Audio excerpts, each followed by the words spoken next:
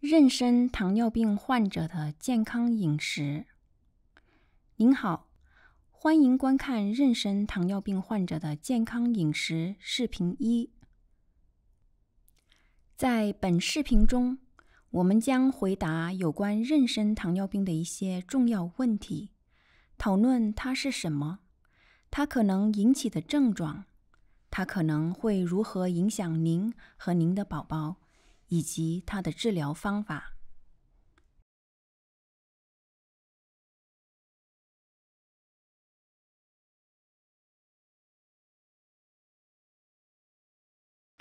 妊娠糖尿病，或称作 GDM，是一种在怀孕期间发生的糖尿病的名称。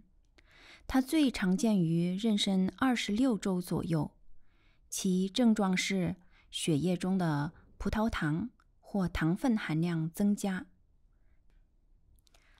当身体消化含有碳水化合物（身体的主要营养素之一）的食品或饮料时，会将它们转化成一种糖，这称为葡萄糖。这种葡萄糖会被我们的血液吸收，从而使血糖水平升高。通常情况下，我们身体的胰腺会产生一种叫胰岛素的激素，来控制这些血糖水平，并防止血糖过高。胰岛素的作用很像一把钥匙，让多余的葡萄糖从血液中排出，并进入身体细胞。在细胞中，它们可被用作能量。然而，怀孕期间，其他激素水平的变化会扰乱这个过程。在正常情况下，当血糖水平升高时，胰腺会产生胰岛素，但它可能无法像往常那样工作，因此可能会需要更多的胰岛素，这称为胰岛素抵抗。如果身体不能满足这种增加的需求，就会发展为妊娠糖尿病。如果没有足够的胰岛素，从血液中排出的葡萄糖就会减少，血糖就会保持在过高的水平。妊娠糖尿病有一些典型的症状，您可能在确诊前经历过。也可能没有经历过，这些可能会包括视线模糊、尿频增加、口渴增加、疲倦和反复的尿路感染。这些症状应该会随着您血糖水平的改善而消退。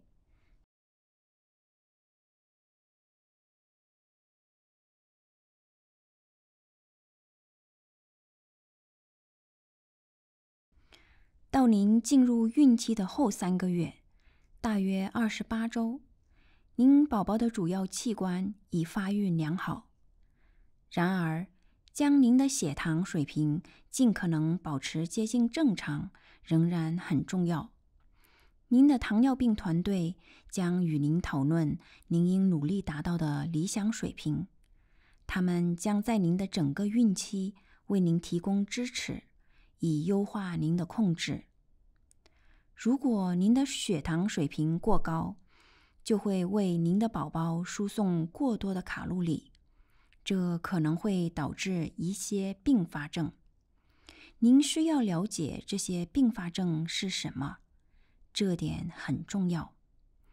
当您前往诊所就诊时，可以与您的助产士或医疗团队。进一步讨论这些问题。您可能遇到的并发症包括先兆子痫、子宫内分泌过多液体、难产以及引产或剖腹产。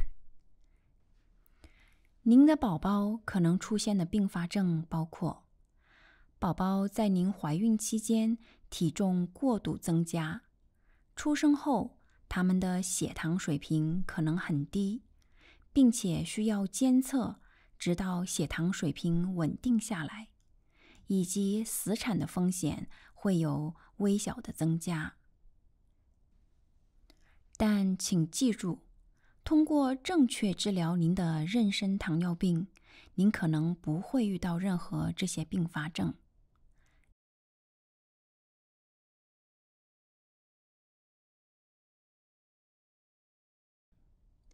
有时，改变饮食就足以控制您的血糖水平，但有些女性需要开始口服药物或注射胰岛素才能实现这一目标。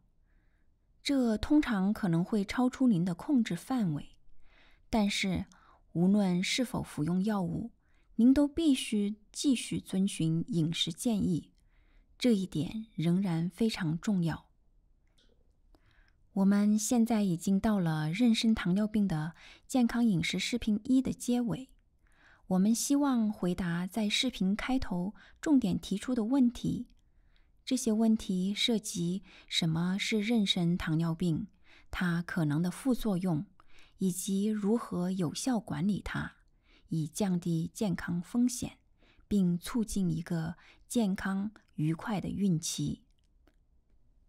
本视频由 NHS 大格拉斯哥和克莱德糖尿病服务的注册营养师制作。